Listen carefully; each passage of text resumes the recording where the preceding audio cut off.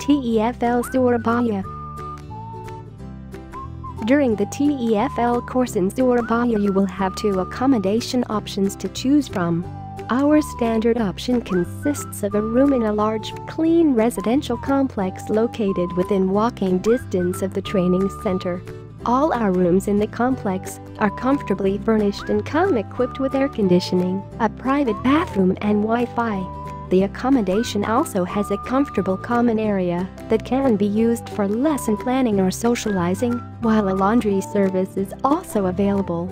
In the vicinity of the building you will find a variety of restaurants, markets and even a gym with basic equipment and a large swimming pool.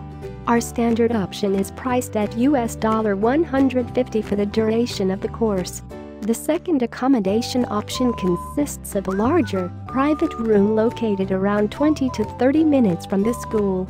Traveling between the accommodation and the school is not a problem as local transport is both inexpensive and readily available. This option is priced at US $250 for the duration of the course. During your stay we will provide you with all your bedding, however, we do ask that you provide your own towels.